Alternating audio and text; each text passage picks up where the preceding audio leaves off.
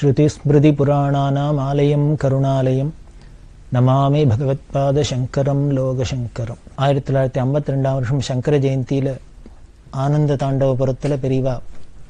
பஞ்சாயதன பூஜையோட சிறப்பையும் அதோட அவசியத்தையும் எல்லாருக்கும் உபதேசம் பண்ணினா அதை கேட்டு பல பேர் பஞ்சாயதன பூஜையை ஸ்ரத்தையாக பண்ண ஆரம்பித்தா முன்னாலுமே எல்லார் நினைமா எல்லார் வீட்லேயும் இருக்கும். அது இருந்தால் கூட அதில் நம்ம கவனக்குறைவனால அதில் ஸ்ரத்த இல்லாத பண்ணாத இருந்துக்கலாம். அவள்லாம் திருப்பி உற்சாகத்தோட பண்ண ஆரம்பிச்சா. அப்படி பூஜை இல்லாதவாள்லாம் இதை வாங்கிட்டு அது மாதிரி பஞ்சாயதன பூஜையை பண்ண ஆரம்பிச்சா. இப்படி இந்த பஞ்சாயதன் பூஜையிலேயே முருகனையும் சேர்த்துண்டு ஷண்மதத்துக்கும் சேர்ந்து ஆறு தெய்வங்களையும் நாம் வழிபட்டு பலனை அடையணும் அப்படின்னு பெரிவா அதெல்லாம் எடுத்து சொல்லிவிட்டு அதெல்லாம் பிரச்சாரம் பண்ணிட்டு ஆயிரத்தி தொள்ளாயிரத்தி ஐம்பத்தி ரெண்டாம் வருஷம் ஜூன் மாதம் தர்மபுரத்துக்கு விஜயம் பண்ணினான் தர்மபுரத்தில் ஒரு பெரிய சைவ மடம் இருக்கு. இந்த தர்மபுரம் ஆதீனத்தோட அழைப்பை ஏற்று பெரியவா தர்மபுரத்தில் போய் மூணு நாளைக்கு அங்கே இருந்தா. ரொம்ப பெரிய வரவேற்பு. பெரியவாளுக்கு அபரிமிதமான மரியாதைகள்லாம் பண்ணி அங்கே அவளை உபச்சாரம் பண்ணினா. அப்படி இருக்கிறதே இந்த தர்மபுரம் ஆதீனத்தோட பல மணி நேரம் பெரியவா தனிமையில் நம்ம சனாதன மதத்துக்கு என்னென்னலாம் பண்ணணும் என்னென்ன கைங்கரியம் பண்ணணும் ஜனங்களுக்கு எப்படி பக்தி வளர்றதுக்கு என்னென்ன தொண்டு பண்ணணும் அப்படிங்கிறதெல்லாம் பற்றி ரொம்ப டீட்டெயில்டாக டிஸ்கஸ் பண்ணினா இது உலகத்துக்கே ஒரு பெரிய பிரயோஜனமாக பிற்காலங்களில் நடைமுறைக்கெல்லாம் கொண்டு வரப்பட்டது. அப்படி தர்மபுரம் விஜயத்தை முடிச்சுட்டு பெரியவா யாத்திரை பண்ணிட்டு இருக்கிறதே நமக்கு முக்கியமாக சனாதன தர்மத்தில் நமது சாஸ்திரங்களில் சொல்லப்பட்டதில் ஒன்று பூர்த்த தர்மம் அப்படிங்கிறது. இந்த பூர்த்த தர்மம் அப்படின்னாலே குளம் வெட்டுறது கிணறு வெட்டுறது இது மாதிரி சோஷியல் சர்வீஸ் சமுதாயத்துக்கு சர்வீஸ் பண்ணுறது பூர்த்த தர்மத்தை சேர்ந்தது. அதில் முக்கியமானது குளம் வெட்டுறது.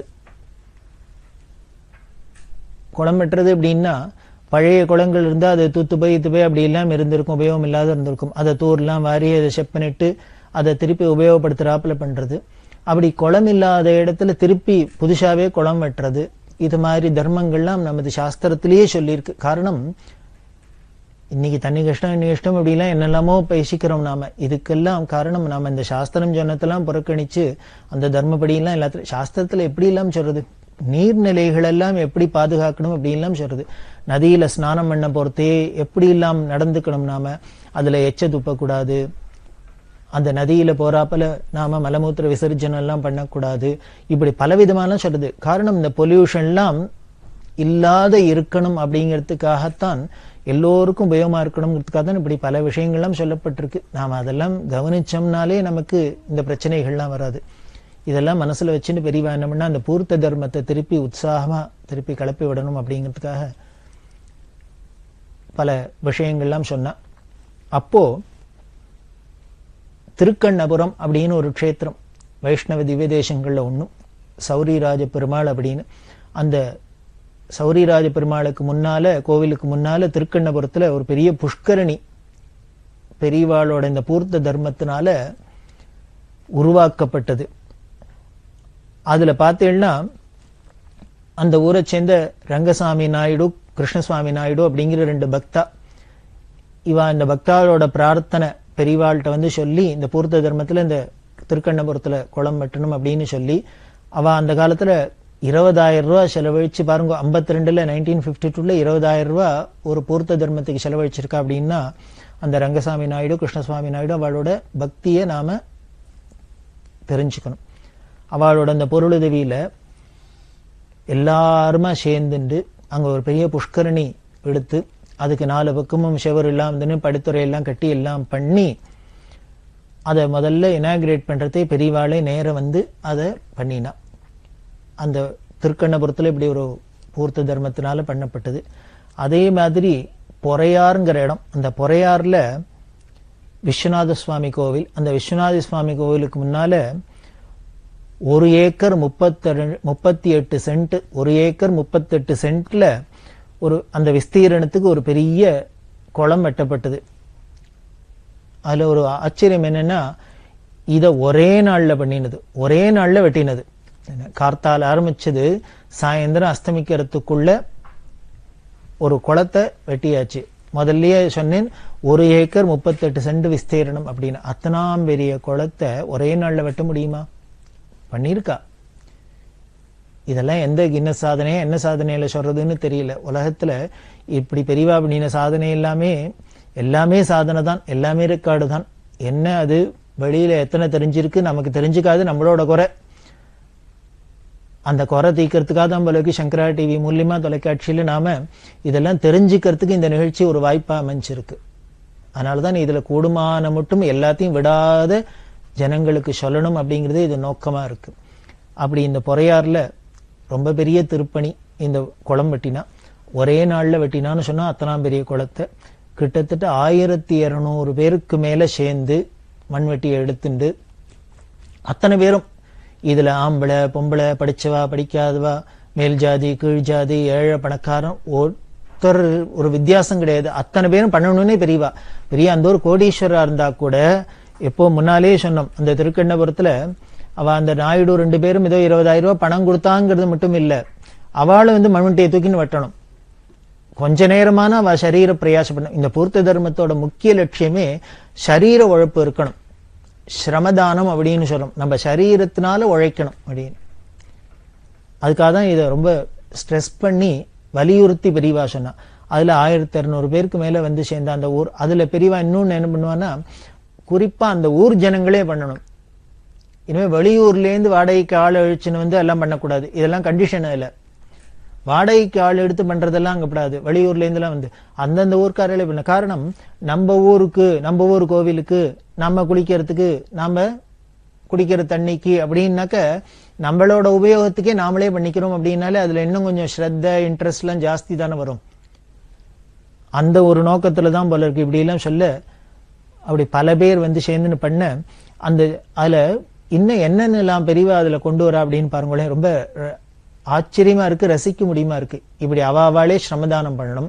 அதுல சில பேருக்கெல்லாம் வந்து சரீரத்தால வெயில்ல வேணல்ல உழைச்சு பழக்கம் இல்லாதையும் இருக்கலாம். டெய்லி உழைக்கிற உழைப்பாளிகளுக்கு இதெல்லாம் ரொம்ப சர்வசகஜமா இருக்கும். உழைக்காதவாளுக்கு அதெல்லாம் சிரமமா இருக்கும். அவளும் அதை தெரிஞ்சுக்கணுங்கிறதுக்காக தான். அவளும் அதை உணரணுங்கிறதுக்காக தான். இப்படி எல்லாம் வச்சது.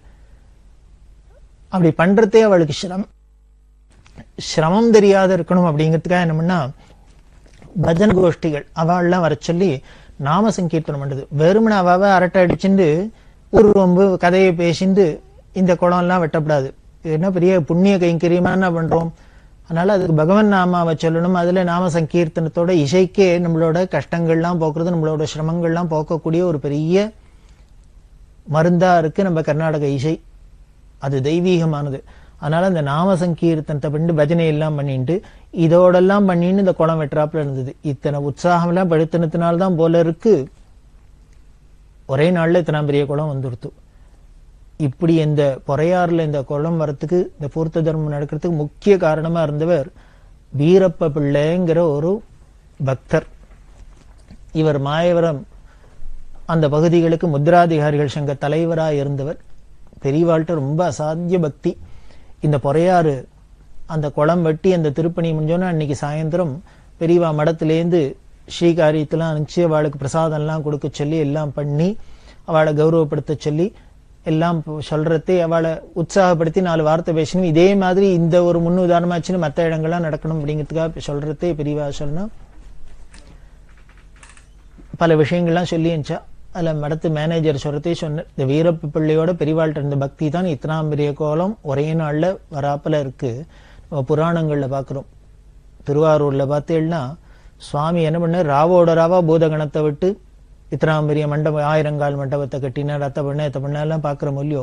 அந்த புராணங்கள்லாம் சொன்னது சத்தியமாக இருக்கும் அப்படிங்கிறதுக்கு ஒரே ஒரு நமக்கு எங்கேயானு தெரிஞ்சுக்கணும்னா பெரியவா பண்ண காரியங்கள்லாம் பார்த்தாலே தெரிஞ்சுக்கணும்லாம் இப்போ கண் எதிர்க்க பொறையாறுல ஒரே நாளில் அதுவும் கார்த்தால ஆறு மணிக்கு ஆரம்பிச்சு சாயந்தரம் ஆறு மணி டுவெல் ஹவர்ஸ் இந்த பன்னெண்டு மணி நேரத்தில் இத்தனாம் பெரிய குளம் வெட்ட முடியுமா? ஒரு சாதனை பண்ணியிருக்கான்னா இப்பேற்பட்ட ஈஸ்வனால ராத்திரியில ராவோட ராவா ஏன் எதைத்தான் கட்ட முடியாது? எதைத்தான் வைக்க முடியாது? எதைத்தான் பண்ண முடியாது? அப்படி ஒரு அதிசயமா இருந்திருக்கு. அதுக்கப்புறம் திருவலஞ்சுழின்னு ஒரு க்ஷேத்திரம். சுவாமி மலைக்கு பக்கத்தில் இருக்கு அந்த திருவலஞ்சுழியிலையும் இதே மாதிரி ஒரு குளம் வெட்டப்பட்டது. அதுல கிட்டத்தட்ட ஆயிரத்தி ஐநூறு பேருக்கு மேல சேர்ந்துண்டு அநேகமா இந்த கைங்கரியம் எல்லாமே ஒரே நாள்ல பண்ணது.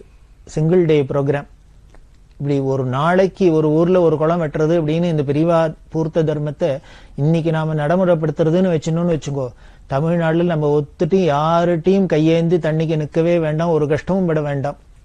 அவளுக்கு நம்மளோட சாஸ்திரமே நம்ம சனாதன மதத்துல ஒரு முக்கியமானது என்னன்னா அவாவா தேவி அவாவாலே பார்த்துணும் எல்லாம் செல்ஃப் கண்டென்ட் அப்படின்னு சொல்றோமே அது ரொம்ப முக்கியம். அதுக்கு பலவிதமான யுக்திகளா இதெல்லாம் சொல்லப்பட்டிருக்கு. நம்ம எந்த ஒரு விஷயத்திலையும் காரியத்துல இறங்கி மூழ்கி பார்த்தா தான் அதோட கஷ்ட நஷ்டங்கள் தெரியும். அப்பதான் அது ஒரு படிப்பினை படிப்பினை அனுபவம் ஒரு பாடம் அனுபவம் பாடம்னா என்ன? அதை நாம அனுபவிச்சு பண்ணி பார்த்தா தான் அதுல உள்ள கஷ்ட நஷ்டங்கள்லாம் தெரிஞ்சு நமக்கு ஒரு படிப்பினை தெரியும். இது இதெல்லாம் பண்ணக்கூடாது இது மாதிரி நடக்கக்கூடாது இது இதெல்லாம் நடக்கணும் அப்படிங்கிறதுலாம் தெரியும். அப்படி இல்லைன்னாக்க நம்மளால அடுத்தவா கஷ்டத்தையும் புரிஞ்சுக்க முடியாது நமக்கு கஷ்டம் வரத்தையும் தாங்க முடியாது. ஒரு சின்ன கஷ்டம் வந்தாலும் உடனே அப்படியே பிரமாதமா சோர்ந்து போயிடுறோம். ஒரு தற்கொலை வரைக்கும் போயிடுறது. அதெல்லாம் இல்லாத இருக்கணும்னா கஷ்ட நஷ்டங்களை சேர்த்து சேர்த்து நாமளை அனுபவிச்சுட்டே இருந்தாதான்.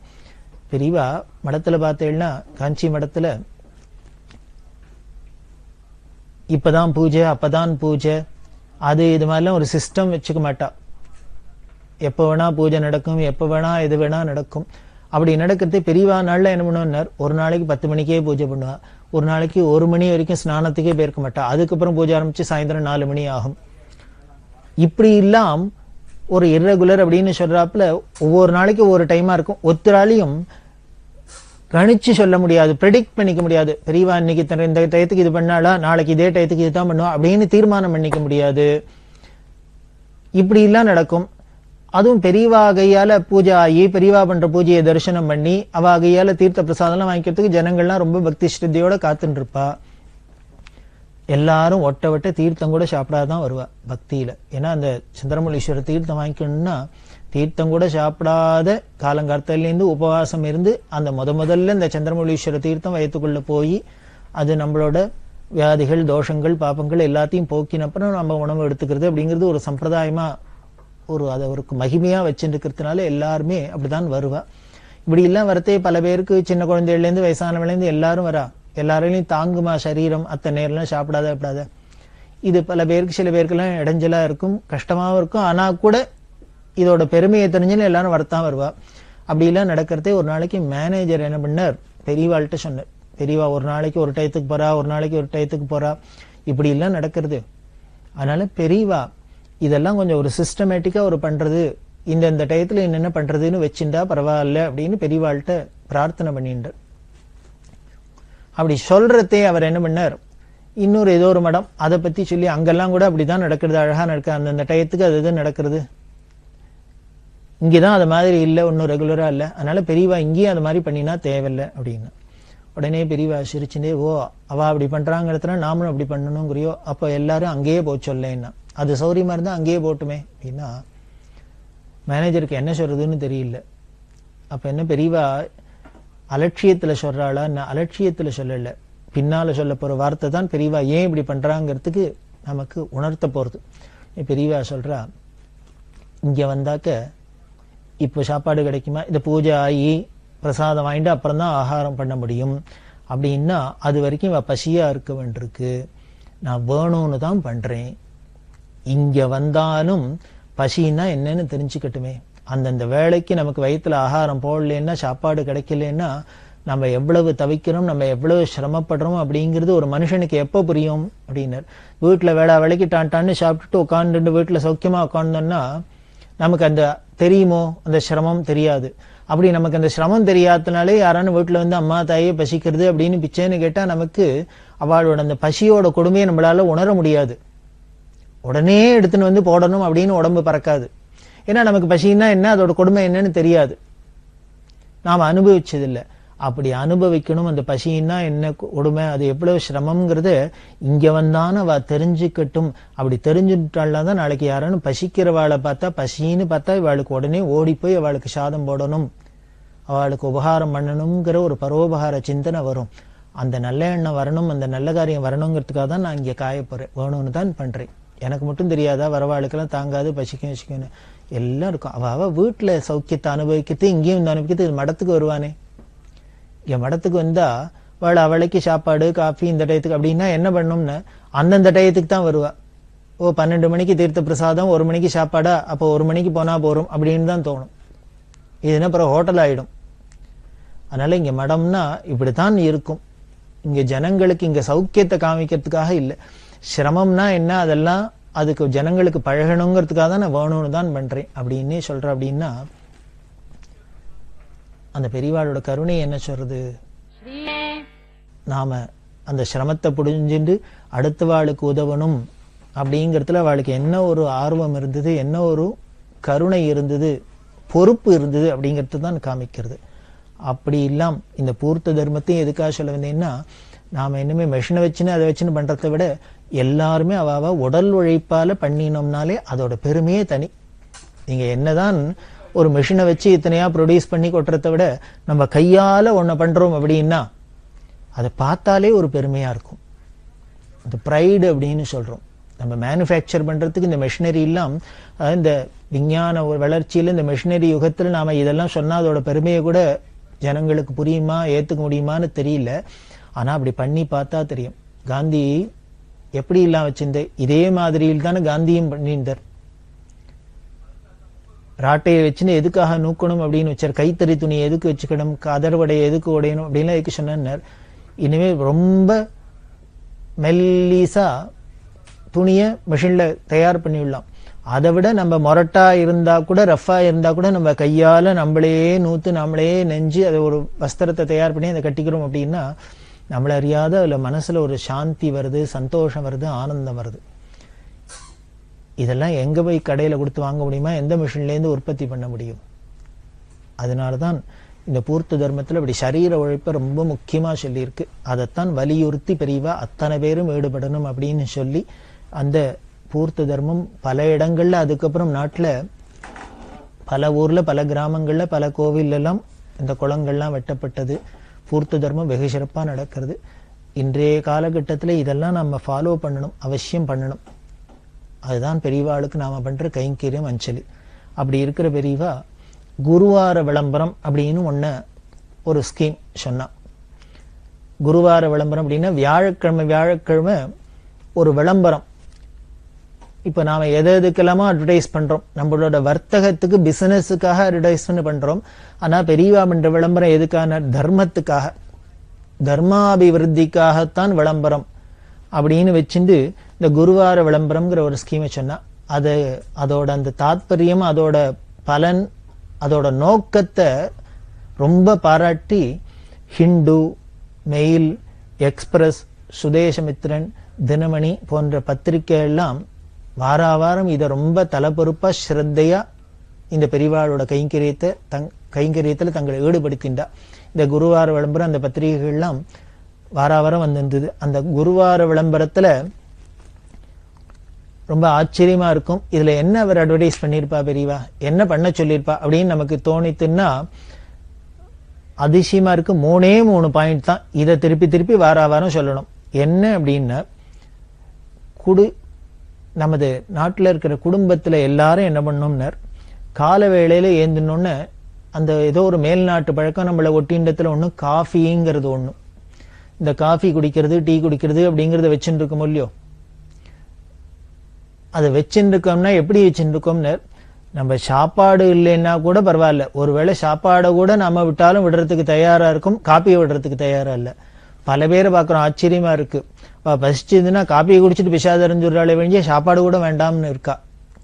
அப்படி சாப்பாடை கூட தியாமட்டு இந்த காப்பியை பிடிச்சிக்கிறாப்புல இருக்கு. அதுல இன்னொரு வேடிக்கை என்னன்னா இந்த சாப்பாட்டு செலவை விட ஒரு குடும்பத்துல அதுக்கு சமமா இந்த காப்பி செலவு இருக்கு. நாம செலவு ஜாஸ்தி ஆயிடுத்து செலவு ஜாஸ்தி ஆயிடுத்து காலம் கெட்டு போயிடுத்து எல்லாம் விலைவாசியெல்லாம் ஏறி போயிடுத்து அப்படி இப்படின்லாம் சொல்றோம். அதாவது எக்கானமி ஸ்பாயில் எடுத்து எல்லாம் பொருளாதாரம் அப்படியே வீணா போயிடுத்து அது இதெல்லாம் சொல்கிறோமே இதெல்லாம் எதனால வேற ஒண்ணும் இல்லை நம்மள்கிட்ட தான் இருக்குது. என்ன எக்கானமி பொருளாதாரம் தனியா அதுவாகவே ஏதான ஒன்று ஒரு வஸ்துவா அதுவாகவே ஏதான ஆயிடுமா என்ன? ஒன்றும் ஆகுது. நாம தானே எல்லாம் அது. நாம பண்ற நம்மளோட ஆக்ஷன் நடவடிக்கைக்கு ஏத்தாப்புல தான் அது நன்னா இருக்கிறதோ நலங்கெட்டு போறதோ எல்லாம் நடக்கிறது. அதுல முக்கியமானது இந்த காப்பிங்கிறது. அந்த காப்பி செலவை குறைக்கணும் அந்த பொருளாதார அந்த பேர்டனை குறைக்கணும் ஜனங்களுக்கு குடும்ப செலவை குறைக்கணுங்கிறதுக்காக இந்த காப்பியை நிறுத்தலாம். அதுக்காக சாப்பாட்டை நிறுத்த முடியாது. காஃபியை நிறுத்தலாம். அந்த காஃபி டீக்கு இன்னொரு குணம் என்ன அப்படின்னர்? அது ஒரு லாகரி வஸ்து. இப்போ நாம் ஒருத்தர் புகைக்கிறார் ஒரு மதுபானம் பண்றார் இதெல்லாம் பண்ணினா நம்ம கண்டிக்கிறோம். இது ஒரு தப்பு அப்படின்னு நாம கோச்சுக்கிறோம் பண்ணக்கூடாது அதை நிறுத்தணும் அப்படிங்கிறோம். பெரியவாளோட பார்வையில இந்த ஒரு குடியோ புகையோ இதுக்கு சமமானதான் காப்பி டீங்கிறது அவளோட கொள்கை. காரணம் சில பேர் சொல்றத கேட்குறமே. எனக்கு காப்பி குடிக்கலன்னா தலைவலி வந்துடும் சார். இதை பண்ண முடியாது சார். அதை பண்ண முடியாது சார். அப்படின்லாம் சொல்கிறோம் அப்படின்னாலே என்ன அதுக்கு அடிக்ட் ஆகிட்டோம்னு அர்த்தம். எந்த ஒரு விஷயமும் சிம்பிளாக சொல்லணும்னா ஒன்று இருந்தால் இருக்கிறது. அது இல்லையா? அதை பற்றி லட்சியம் பண்ணாத இருக்கிறது. இப்படி இருந்துட்டோம்னா நாம் அதை வச்சுக்கிறதுலையோ வச்சுக்காதனால ஒரு கஷ்டமும் இல்லை. ஆனால் என்ன பண்ணிவிடும்னா அது இல்லைன்னா என்னால் உயிரே வாழ முடியாது. அது இல்லைன்னா எனக்கு இது மாதிரி சிரமங்கள்லாம் வந்துடும் அப்படின்னு இருந்ததுன்னா அது நம்மளை அடிமை கொண்டிருக்குன்னு அர்த்தம். அதுக்கு நாம் அடிக்ட் ஆகிட்டோம்னு அர்த்தம். அதைத்தான் கண்ட்ரோல் பண்ணணும். இப்படி நாம் இன்னொரு விஷயத்துல போய் அடிக்ட் ஆகிட்டு அப்புறம் நமக்கு என்ன நாம் என்ன சாதிக்க முடியும்? அதுக்கப்புறம் நமக்கு என்ன ஆத்ம குணங்கள் வரும்? என்ன வரும்? அதையும் என்ன பண்ணுறோம் காலங்காலத்தாலேயே சுப்பிரபாதம் பாடாப்புல எடுத்தோடனே அதுல போய் ஆரம்பிச்சிடுறோம். அது வேண்டாங்கிறதுக்காக தான் பெரியவா அந்த காப்பி டீ குடிக்க வேண்டாம்னு சொன்னான் அப்போ எனக்கு ஏதானும் ஆகாரம் கால வேளையில பட்னியா இருக்க முடியலையே. ஏதானும் எனக்கு இது மாதிரி இருக்கு சார். எனக்கு சுகர் பேஷண்ட் அது இது ஏதானும் பண்ணலாம் அப்படின்னு சொல்லலாம். அப்ப என்ன பண்ணலாம் அதுக்கு பதிலா அரிசி கஞ்சி நொய் கஞ்சி கோதுமை மா கஞ்சி. இது மாதிரி கஞ்சிகள்லாம் வச்சு குடிச்சாக்க என்ன பண்ணலாம் அப்படின்னர்? நமக்கு உடம்புக்கும் முதல்ல ஆரோக்கியம். காஃபி ஒரு அடிக்ட் நம்மளை அடிமையாக்குறது அப்படிங்கிறதோட இல்ல. செலவு அதிகங்கிறதோடையும் இல்லை. நமக்கு உடம்புல கெடுதலும் பண்றது. டாக்டர்கிட்ட எல்லாம் ஏதாவது மருந்து மாத்திரை எல்லாம் கொடுக்கறதே என்ன சொல்கிறேன் அல்சர் முதலான ப்ராப்ளங்களுக்கு முதல்ல என்ன முதல்ல காஃபி டீயை நிறுத்துங்கோ சார் அப்படிங்கிற.